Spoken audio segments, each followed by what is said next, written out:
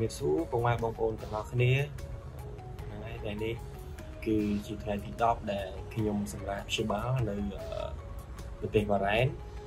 អឺហើយថ្ងៃនេះដែរគឺខ្ញុំបានទទួលដំណឹងល្អពីការតេស្តរបស់ខ្ញុំពីម្សិលមិញដែលគេយកសំណាក់របស់ខ្ញុំទៅតេស្ត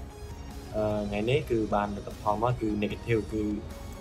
អាការៈរបស់ខ្ញុំជំងឺរបស់ខ្ញុំហ្នឹងគឺបានជាហើយហើយការតេស្តក៏វាលែងមានទៀតដែរហើយ ថ្ងៃនេះគឺខ្ញុំបានចេញពី